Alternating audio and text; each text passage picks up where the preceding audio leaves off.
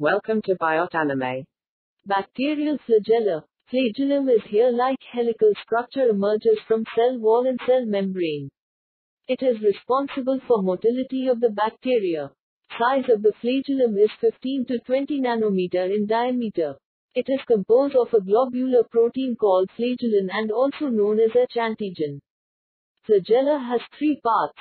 Basal body, hook, and filament. Basal body is composed of central rod inserted into series of rings which is attached to cytoplasmic membrane and cell wall.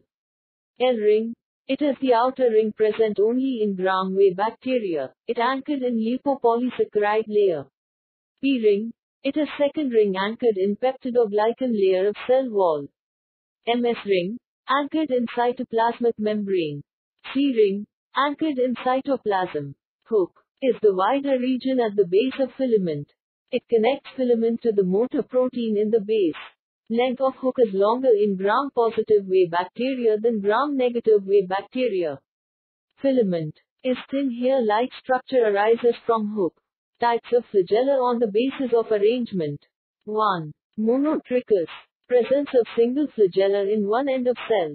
Examples, Vibrio cholera, Pseudomonas aeruginosa. 2. Lophotrichous. Presence of bundle of flagella in one end of cell.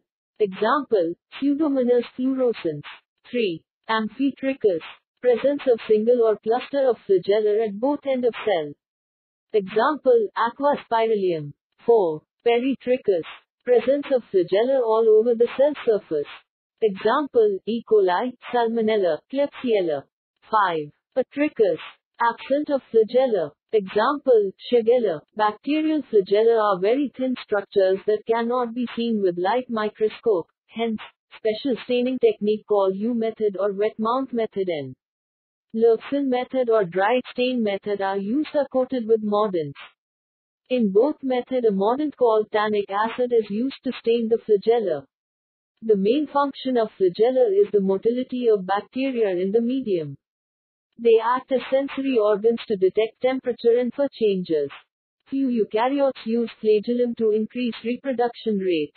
Thank you. Please like, subscribe and share. See you again in a new topic.